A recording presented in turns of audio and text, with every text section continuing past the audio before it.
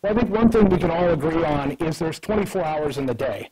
Now that's 1,440 minutes, 86,400 seconds.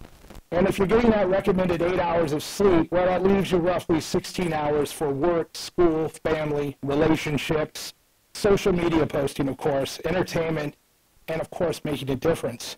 Now imagine a world where there were only 48 hours in a single day. How would you spend your time differently? Would you sleep more, binge watch more television, or find ways to give back? I'm a storyteller. Now, whether it's film, TV, or virtual reality, the characters that I help create um, have the benefit of achieving their goals in a certain set amount of time. But real life, it's never that simple. There just isn't enough time in the day. Time is the great equalizer, and for all of us, it's precious and fleeting. Now imagine a world where we had less time.